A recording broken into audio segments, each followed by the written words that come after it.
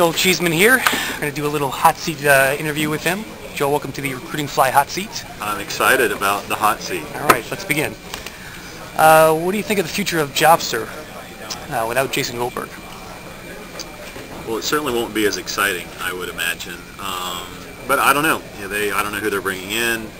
Um, you know, they, they certainly have a brand in terms of recognition. They have, I assume, you know, a decent amount of traffic. They have data in the in the um, sense of users. I assume they have a good amount of employers in their database. So I certainly wouldn't wouldn't count them out or say that they're on the, uh, the quick road to uh, oblivion. But um, I think it's just a wait and see situation. All right, very good. Uh, Monster is one of your favorite topics, so uh, they seem a bit lost lately. Will We're in they- their uh, name badge today. That's right. Will they ever uh, find their way home? Will they ever find their way home? Yes. I'm not sure what that means.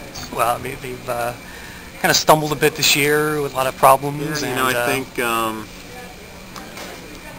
you know talk is cheap, and uh, you know most most of us heard the uh, uh, the conference call that they had about three months ago, and they said they were going to be more user centric and take away some of the spammy uh, things like the um, you know the interstitial ads and whatnot. And to date, they really haven't done that. So where they're they're talking, I think they're they're saying the right things. They're certainly not, not doing the right things. Um, and I'd certainly like to see them do some of these uh, they're talking about. I, and I and I do think that, um, for what I understand, there's a, a task force that's in charge of like building bridges with people like me and the community and trying to figure out how they can be become a more friendly company. So that's I haven't heard much about that except just in Have they kind of out to you? whispers. Um, uh, um, Neil Bruce asked to sit down with me today uh, for or during the conference for 30, 30 minutes to an hour. So my assumption is he may want to talk about some things of how Monster can improve their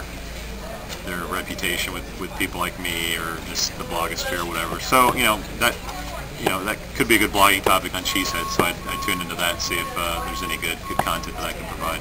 Okay, we shall. Uh, SEO. Will, uh, will SEO ever become a primary recruiting tool? A primary recruiting tool, I mean, probably not. I think that the, the way of the world today is that you have a, a toolbox and you have a myriad of tools.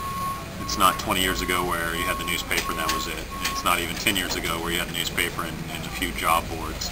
I mean, you have everything from now social networking to um, SEO, search engine marketing.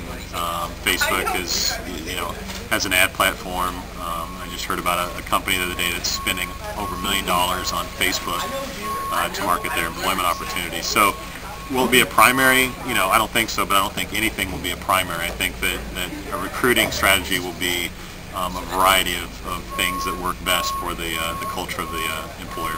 Okay. Uh, video resumes. Are you friend or foe? I think the jury's still out. Um, as much as I would like to think that it's the wave of the future, and so many of my bloggerati brother uh, brethren believe that it is, it's um, you know uh, Kevin Wheeler at a conference, uh, you know, prominent blogger and, and consultant in the space. Kevin Wheeler asked, how many employers would sit through two to three minute video resumes uh, in their recruitment efforts, and nobody raised their hand. Now that doesn't mean that when someone's further along in the process that video